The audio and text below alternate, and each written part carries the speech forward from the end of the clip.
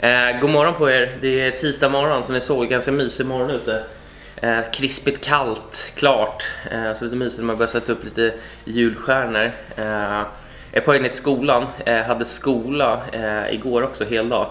Så det är full rulle de här dagarna och inte så mycket annat. Eh, men eh, det är ganska bra timing på, eller jag vet inte, kanske inte bra timing. Det har ju börjat snöa som fasen nere i Engelberg och har en resa nerbokad nästa vecka. Eh, för jag har två skoldagar, måndag, tisdag nästa vecka och sen efter det ska jag flyga ner. Och det har ju börjat dumpa som fasen nere i Engelberg. Jag kan visa några grejer, men eh, igår såg man ju eh, några kompisar när jag ut och åkte.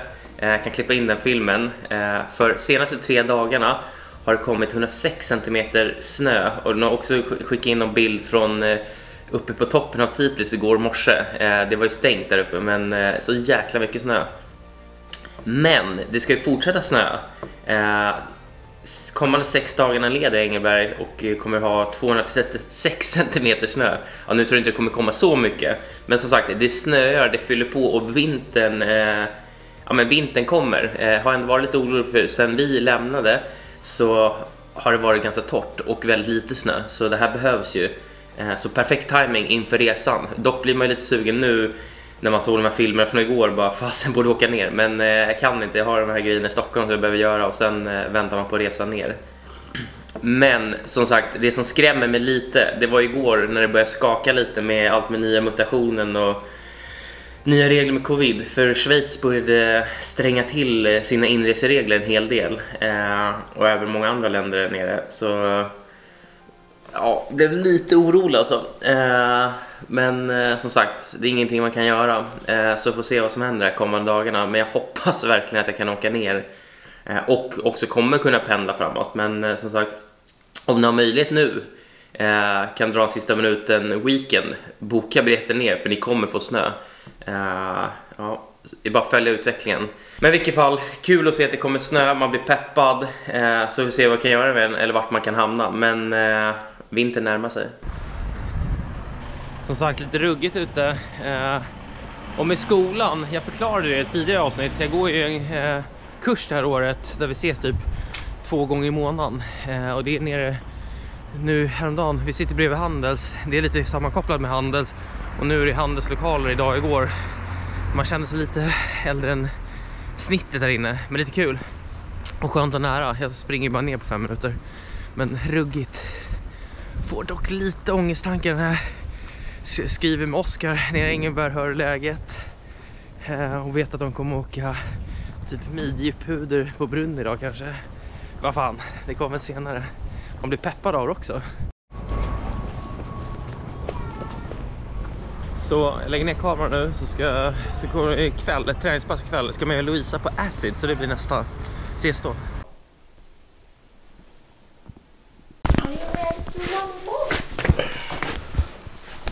Som ni såg lite trött efter dagen men eh, nu ska vi träna acid. Det brukar vara fullt drag, det var länge sedan eller jag har ju typ aldrig kört det men jag säga. Jo men eh, det brukar vara full fart, lite jobbigt. Eh, du- Lovisa brukar köra mer så du får väl visa hur man gör. Det där kan det. Ja, det kan du.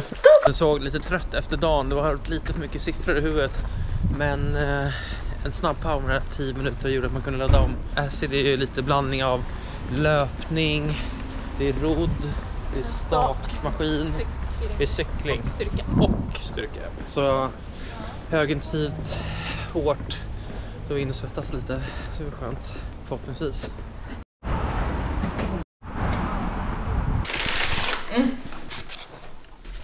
Vad, jag måste bara säga någonting.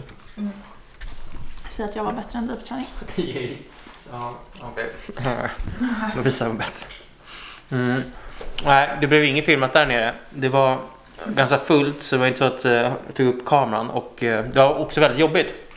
Det går ut på att man kör egentligen 10 minuter varje på löpningen, på rodd, på stakning och sen wattcykel och sen styrka. Så eh, jag tror jag fick upp ja, 24-25 minuter i pulszon 4. Meningen är att man ska ha några, någon minut på varje på pulszon 5, det röda. Men dit lyckas jag inte trycka mig upp. Eh, så måste köra någon mer gång för att klara det. Men i vilket fall, jäkligt jobbigt och roligt pass. Nu måste vi få äta och eh, ladda upp lite. Jag kommer upp i röd varenda gång. Ja, Louisa kom upp i röd så man måste, nybörjare måste man få jobba lite. Men nog ner så kanske visa en annan gång där nere. Det här är fan lite vingligt att filma samtidigt.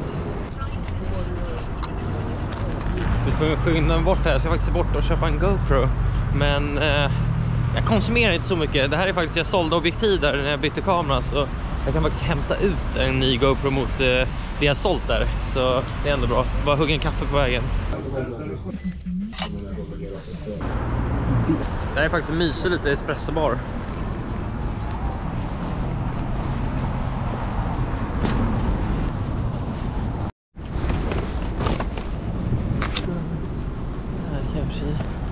Ja men snyggt. Hitta nya tian. Så det blir kul att testa och som sagt Eh, jag sålde ju massa objektiv här tidigare så hade nota innestående så det var skönt att kunna hämta ut och slippa betala. Så, fan det blir lite snabba ryck och lite konstigt filmat sån här dag. Efter jag var och köpte kameran så var jag iväg på, eller jag har gjort lite andra grejer och inte filmat. Eh, nu, snart ikväll ska vi iväg på konsert. Jag och Lovisa ska på Avicii-konserten som är ikväll. Eh, så det ska bli jävligt kul. Eh, och eh, nu måste jag bara passa på att dra och träna snabbt. Eh, jag tänkte dra till gymmet, eh, springa lite korta intervaller, köra lite core. Jag tror jag har typ 45 en timme jag ska köra innan jag måste dra iväg, möta upp Lovisa ska vi käka middag innan vi drar på konserten. Men eh, som sagt, det blir lite ryckiga såna här dagar, men nu drar vi till gymmet i alla fall.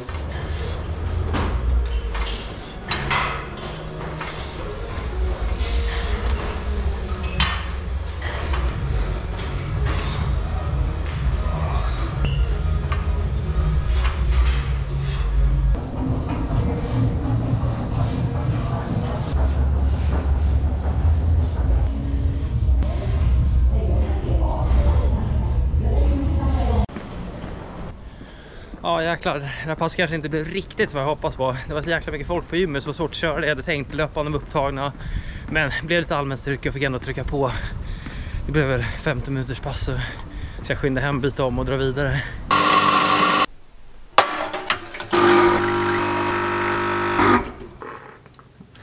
Jag vet inte om ni ser, men när jag duschar, jag har lite bråttom här, men så skickar jag in tvål i ögat. Alltså du vet, man stänger, öppnar tvålen så bara skvätter upp en så här stor klick rakt i ögat som jag tryckte in.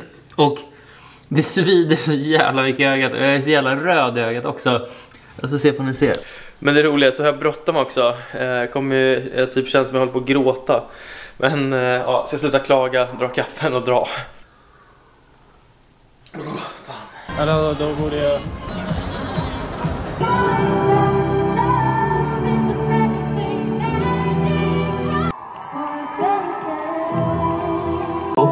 Åker i trakten brukar se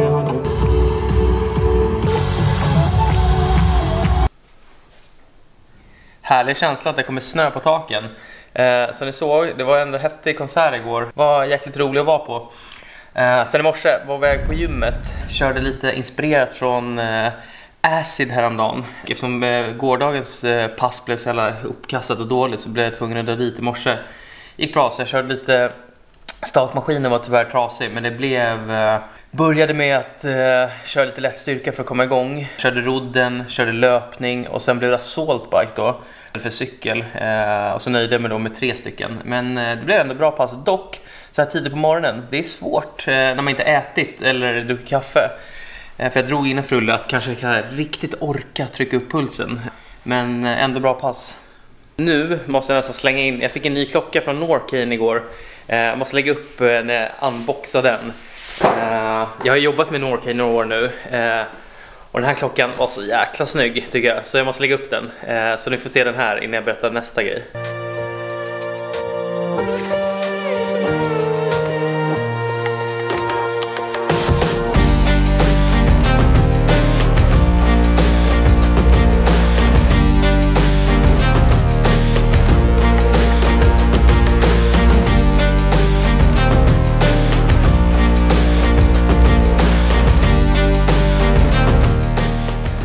Nej, men visst eh, var den snygg. Jag gillar verkligen detaljerna med det här eh, orangea och eh, NATO-stripen som också har orangea stripen. Jäkligt fin. Det här är en Adventure Neverest GMT 41 mm och där är Neverest-kollektionen lite speciell. Eh, Neverest-kollektionen, eh, ja, 10% av den eh, från försäljningen går till eh, The Butterfly Help Project, vilket är en organisation som hjälper familjer av sherpa som har mist livet i bergen i Himalaya och kan erbjuda deras barn möjlighet eh, till utbildning. Eh, så ett fint eh, projekt man drar igång. Och även som sagt de här, jag gillar kollektionen, lite speciella och eh, snygga. Så spana in dem. Men nu eh, ska jag försöka slänga in det här på datorn så jag får upp det här avsnittet eh, som ni har kollat. Och sen eh, ska jag hoppa in i bilen och rulla faktiskt mot Åre. Så ska vi ha Åre från torsdag kväll till söndag. Det ser ut att vara jävligt fint där uppe. Så lyftarna nu på fredag. Blandning av lite åkning och längd. Så vi ses i Åre.